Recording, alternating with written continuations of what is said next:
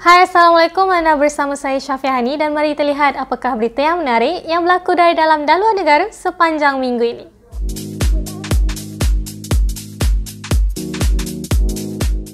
Berita minggu ini dimulakan dengan pelancaran telefon pintar terbaru daripada Huawei iaitu Huawei Y9S. Peranti ini membawakan skrin 6.59 inci FHD+, dikuasakan dengan janaan chip Kirin 710F, menggunakan kamera pop naik dan tri kamera belakang dengan sensor utama 48 megapiksel. Di Malaysia, ia ditawarkan bermula 29 November 2019 pada harga RM999. Selain itu, Honor minggu ini menawarkan telefon pintar terbaru dengan sokongan rangkaian 5G iaitu Honor V30 dan juga V30 Pro. Kedua-dua peranti membawakan rekaan skrin dengan lubang kamera berbentuk bujur dijana dengan chip Kirin 990, memori sehingga 8GB RAM dan storan sebesar 128GB. Membezakan peranti adalah penawaran kamera utama gabungan 40, 8 dan 8 megapiksel untuk model Honor V30. Manakala Honor V30 Pro pula menggunakan kamera utama gabungan 40, 12 dan 8 megapiksel. Buat masa ini, tarikh penawaran peranti untuk pasaran tempatan masih belum diumumkan lagi. Mengenai Honor lagi, jenama ini turut memperkenalkan jam tangan pintar Honor Watch Magic 2 ia hadir dengan pilihan skrin 1.2 inci atau 1.4 inci dan saiz kerangka 46mm atau 42mm. Jam tangan ini dikuasakan dengan chip Kirin A1 selain menyertakan sistem SWOF untuk membaca data berenang. Menurut Honor Malaysia, ia dijangka akan dilancarkan di Malaysia tidak lama lagi. Tidak ketinggalan, Oppo bakal melancarkan Realme X2 Pro untuk pasaran Malaysia tidak lama lagi.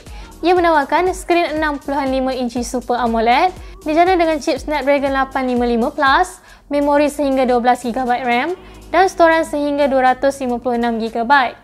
Melengkapkan peranti adalah 4 kamera belakang dengan sensor utama 64MP dan bateri sebesar 4000mAh. Buat masa ini, tarikh penawaran peranti masih belum diketahui. Apple pula secara rasminya telah membawa masuk AirPods Pro untuk pasaran tempatan.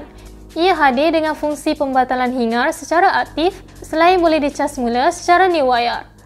Ia hadir dengan fungsi pembatalan hingar secara aktif selain boleh dicas semula secara new wire.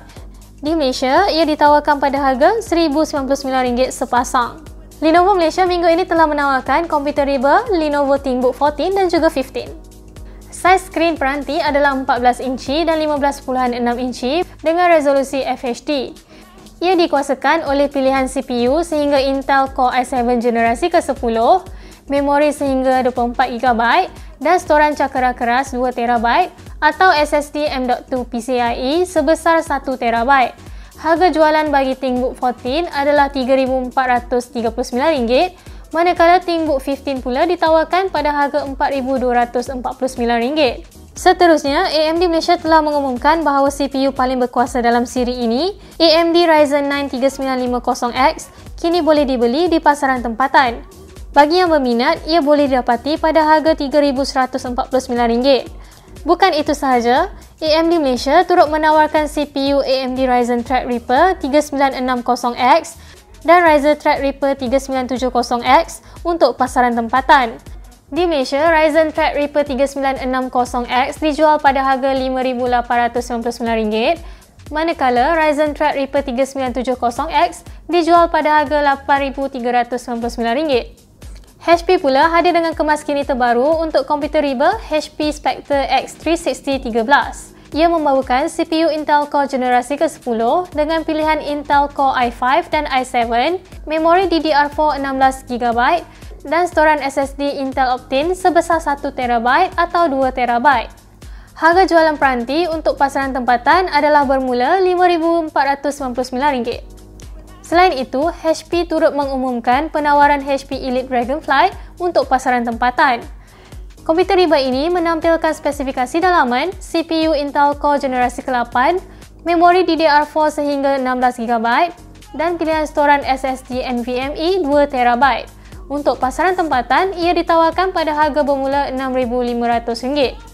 Dalam arena aplikasi dan perisian, Twitter memperkenalkan ciri untuk menyembunyikan balasan kepada tweet utama. Untuk menggunakannya, pengguna hanya perlu klik pada ikon anak panah ke bawah di penjuru kanan sesuatu tweet dan memilih Hide Reply. Ciri ini ditawarkan melalui aplikasi Twitter untuk iPhone, Android dan juga web. Grab pula telah membuka pendaftaran untuk rakan penghantar bagi program Grab Bike. Melaluinya, penunggang motosikal boleh menawarkan perkhidmatan seru motosikal atau teksi motosikal bagi menghantar pengguna ke destinasi yang ingin dituju. Pendaftaran ini dibuka sehingga 2 Disember 2019. Foodpanda pula menawarkan pembelian barangan runcit melalui aplikasi. Ia kini dibahagikan mengikut kategori restoran dan kedai. Buat masa ini, senarai kedai yang ditawarkan adalah terhad dan masih di peringkat eksperimen awal oleh pihak Foodpanda. Seterusnya, Waze telah mula menambah data berkaitan harga tol pada aplikasi berkenaan. Menerusinya, pengguna boleh mendapatkan anggaran harga tol yang terlibat sewaktu sesuatu perjalanan. Bukan itu sahaja, pengguna boleh memilih menu RAPS untuk membandingkan harga tol yang terlibat dalam perjalanan ke sesuatu destinasi. Dalam arena teknologi tempatan, DG kini menawarkan naik taraf kuota data hujung minggu kepada sepanjang hari bermula Januari 2020. Dengan ini, pengguna boleh menggunakan data tersebut pada bila-bila masa dan tidak hanya tertakluk pada hujung minggu sahaja. Pada minggu ini juga, Salcom dan Maxis akan bekerjasama dalam pembangunan infrastruktur 5G di beberapa kawasan terpilih.